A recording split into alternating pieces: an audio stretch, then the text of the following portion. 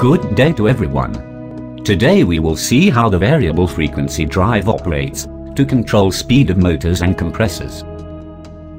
VFD consists of three main parts, namely converter, filter and inverter. VFD is also called as variable speed drive or VSD. Converter is also called as rectifier, and the diodes assembled in it allows current to flow in only one direction, converting AC into DC. Although AC voltage alternates on the positive and negative sides continuously, rectifier diodes allow only one-sided flow here, making positive side flow on upper path, and the negative return path at the bottom, hence AC converted to DC. Black line and the black arrow show alternating values on the red voltage sine wave between its maximum and minimum values. Algebraic sum, that is the values including plus and minus symbols of red, blue, and yellow sine wave is zero at any position on the graph here. When you consider red line phase voltage, values on the negative side of the sine wave becomes zero when flowing through the diodes. All three line voltages face this change when flowing through the converter part of VFD. After the converter, we receive upper positive parts of all three line voltages, or resultant currents on it, as a DC value now but its pathway is very rough with ripples right throughout, and need to be smoothened to get pure and linear direct current voltage. DC bus or filter is equipped with capacitors, and these make rough and ripple voltage received after the rectifier into a smooth and linear DC voltage. When voltage is at its maximum, capacitors are fully charged, and starts discharging to fill the DC gaps created between voltage ripples.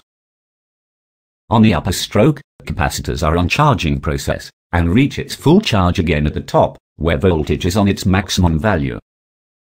Main purpose of the VFD filter capacitor is to provide this smooth and linear DC voltage, and it is a must to get the next stage operation at the inverter to the perfection. In addition to the capacitors, there are reactors with inductors too in the filter, to add extra smoothness to the DC voltage. Inverter consists of IGBT transistor switches, that is insulated gate bipolar transistors, which transform DC voltage back to AC voltage, but now is with variable option. IGBT transistors perform as on-off switches, with very fast and rapid action, and are connected to a controller unit inside of the inverter. These are very effective type of transistors, and avoid short-circuiting between positive and negative DC lines during fast-acting operation. Dotted line here shows the connection line of IGBT switch to the controller unit.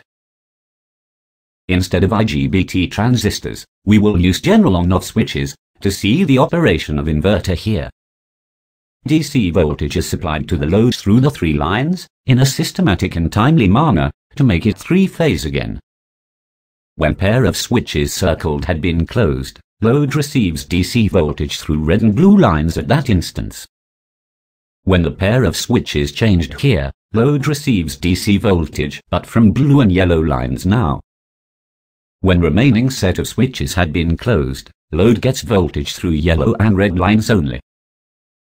These switches open and close in pairs, as shown previously.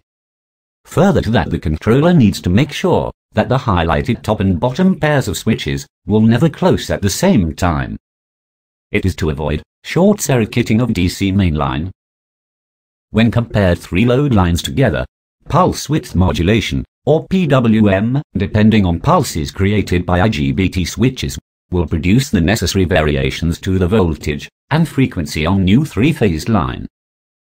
When arranged one pair of switches to operate, or pulses for number of times before going to the next pair of switches, resultant intermittent voltage supplied to the load becomes less than the original value of three-phase voltage.